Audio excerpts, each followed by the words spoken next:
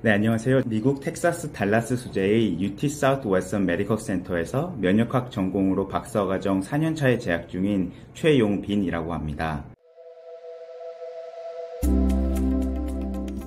저는 우리와 공생하고 있는 장내 미생물이 항암 면역, 특히 면역 항암 치료 효과를 조절하는 메커니즘에 대한 연구를 수행하고 있고, 나아가 저의 연구를 바탕으로 한 면역 항암제 개발 관련 프로젝트도 진행 중에 있습니다.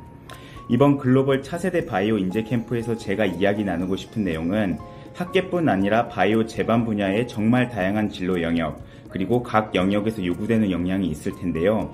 이러한 커리어를 위해 대학원 과정이 필요한지, 또 필요하다면 어떠한 측면에서 필요한지에 대해 소개드리고 이야기 나누어 보고자 합니다. 특히 미국 대학원 유학 과정 중 접하게 된 다양한 진로와 석사 및 박사 학위가 어떠한 방식으로 도움을 줄 수 있을지에 대해 소개해드리고자 하니 많은 관심과 참여 부탁드립니다.